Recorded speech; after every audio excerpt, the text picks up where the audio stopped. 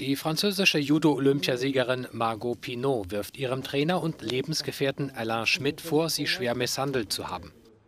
Auf einer Pressekonferenz sagte die von Gesichtsverletzungen gezeichnete 27-Jährige, Schmidt, früher selbst Weltklasse-Judoka, habe während einer Auseinandersetzung in der Wohnung des Paares versucht, sie zu töten. Schmidt, der vorläufig festgenommen wurde, weist den Vorwurf zurück. Er lügt. Er versucht weiterhin, mich als hysterische Frau darzustellen. Es waren Faustschläge, mein Kopf wurde auf den Boden geschlagen und er hat mich gewürgt. Seit Jahren haben wir eine Beziehung, die ein wenig besonders ist, um es freundlich zu sagen. Ich habe sie mehrmals aufgefordert, den Verein zu verlassen.